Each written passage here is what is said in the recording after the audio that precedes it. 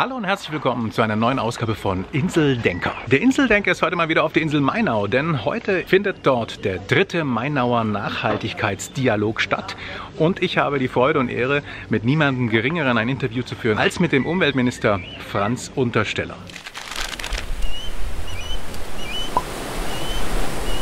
Der Nachhaltigkeitsdialog findet jetzt schon zum dritten Mal hier auf der Insel Mainau statt und es treffen sich Fachleute, Pressevertreter hier aus ganz Baden-Württemberg und natürlich vor allem auch aus der Region und tauschen sich aus über die Möglichkeiten, die wir haben, mit den Folgen des Klimawandels umzugehen. Der Minister ist schon unterwegs. Um 7.10 Uhr ist er heute losgefahren in Nürtingen und ähm, auf diesem Platz soll er also gleich sitzen.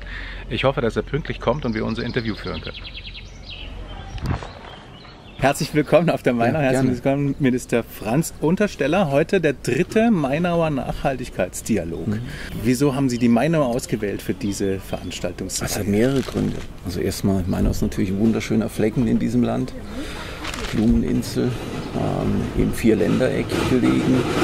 Zweitens, die Lennart Bernadotte Stiftung ist seit vielen Jahren in ökologischen Fragen engagiert, im Thema Nachhaltigkeit engagiert, hat sehr viele Projekte selbst hier auf der Insel umgesetzt und von daher ist er natürlich auch ein idealer Partner für so ein Projekt und dann natürlich noch in so einer schönen Umgebung so eine Tagungsreihe zu machen, äh, macht natürlich dann umso mehr Sinn und macht natürlich auch Spaß. Sie kommen ja aus dem Saarland, sind Sie da irgendwie als Kind oder Jugendliche auch mal auf der Mainau gewesen, privat? Äh, vom Saarland aus nicht. Ich bin mit dem 19. Lebensjahr vom Saarland weg nach Baden-Württemberg, habe hier Landschaftsarchitektur studiert, auch ein paar Vorlesungen gegeben ähm, und von daher gesehen, seit ich in Baden-Württemberg bin, war ich natürlich regelmäßig hier auf der Mainau gewesen auch im Zusammenhang mit meinem Studium logischerweise hier auf der Mainau gewesen, aber auch privat immer wieder hier unten. Jetzt haben wir als Thema die Klimaerwärmung. Ähm, ja. Sie bemühen sich hier im Land darum, die Folgen der Klimaerwärmung zu mildern, währenddessen ähm, auf einem anderen Kontinent der Präsident bestreitet, dass es die überhaupt gibt. Also ich sag mal so, auch mit 150 Zeichen auf Twitter lassen sich keine Fakten aus der Welt schaffen. Ja? Sie können das zwar versuchen zu ignorieren, aber trotzdem wird die Entwicklung vorangehen. Und die Entwicklung heißt, um mal Zahlen zu nennen, zwischen 1880 und 2010 ist global das Klima hat sich um 0,85 Grad erwärmt. Bei uns in Baden-Württemberg übrigens mehr, 1,3 Grad. Das hört sich jetzt für jemanden, der nicht täglich mit diesen Themen befasst, ist nicht so arg viel an. Aber um mal eine Zahl zu nennen, die es dann deutlich macht, was es bedeutet. Karlsruhe hat heute die Durchschnittstemperatur von Lyon vor 70 Jahren. Mhm. Und diese Entwicklung wird weitergehen. Und wenn Sie dann mal überlegen, nehmen wir mal ein Beispiel, der Jahrhundertsommer 2003, mhm. der hatte im Raum Karlsruhe 53 heiße Tage. Als heiße Tage werden Tage mit mehr als 30 Grad definiert. Die Prognosen gehen dahin, dass Karlsruhe im Jahr 2050 regelmäßig 53 heiße Tage haben wird.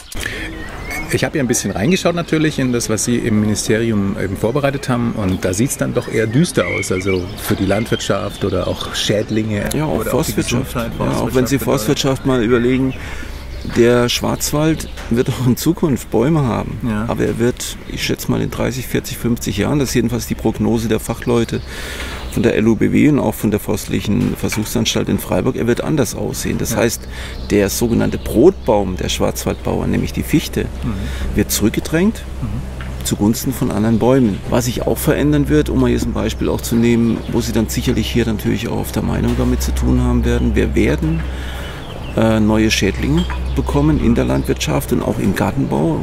Ähm, wir werden mit äh, Niedrigwasser hier am Bodensee zu tun haben. Gleichzeitig werden wir aber auch Jahre haben, wo wir mit Hochwasser zu tun haben werden. Das heißt, letztendlich die Extremwettersituationen, die werden zunehmen, dass sie Hochwasser haben, selbst in Orten, wo es keinen Fluss gibt. Mhm. Ja, weil es plötzlich von den Hängen runter riesige Wassermassen runterkommen, so wie das in Braunsbach der Fall war und einen ganzen Ort praktisch völlig zerstört haben. Mhm. Wir befürchten, dass solche Situationen in Zukunft eher zunehmen. Das ist jedenfalls die Prognose der Fachleute.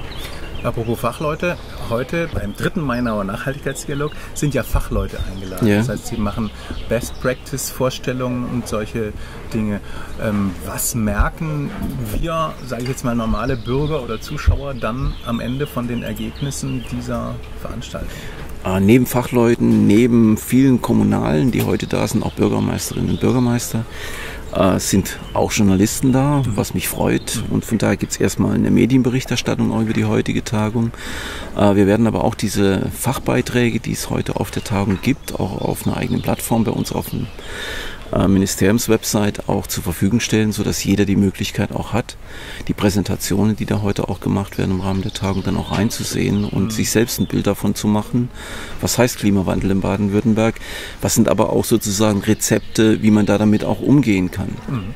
Jetzt habe ich am Schluss noch mal eine private Frage. Ich habe eine Solar-, also Photovoltaikanlage seit einer ja. Weile. Meistens verbrauche ich es nicht. Jetzt bin ich ja. zum Beispiel nicht zu Hause und dann ja. muss ich ähm, für 12 Cent das verkaufen und dann abends wieder für, wenn die Sonne aus ist, für 24 äh, zurückkaufen. Ist das eigentlich gerecht? äh, es ist erstmal gerecht. Also damit habe ich kein Problem. Ich gehöre auch zu denjenigen, die in der Situation sind. Ich mhm. habe zwei Photovoltaikanlagen auf meinem privaten Dach, mhm.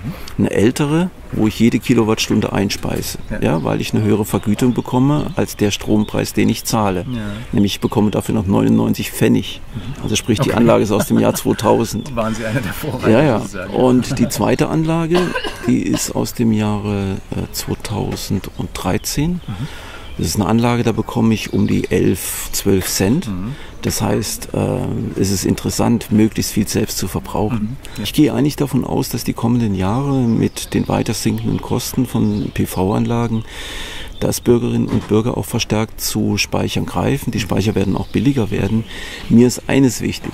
Ich halte nicht so viel persönlich davon, dass man glaubt, ich speichere tagsüber ein und abends mit Beginn der Tagesschau speichere ich aus. Ja. ja das ist nicht Energiewende. Mhm.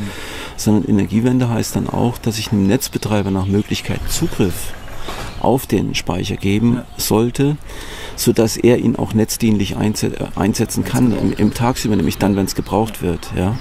Vielen herzlichen Dank, ja, gerne. dass Sie sich die Zeit genommen haben, vor Beginn sogar der, des Dialogs. Ja. Und jetzt wünsche ich viel ja, Erfolg herzlichen und Spaß Dank. auf der Danke, Danke, vielen Dank. Ja, danke.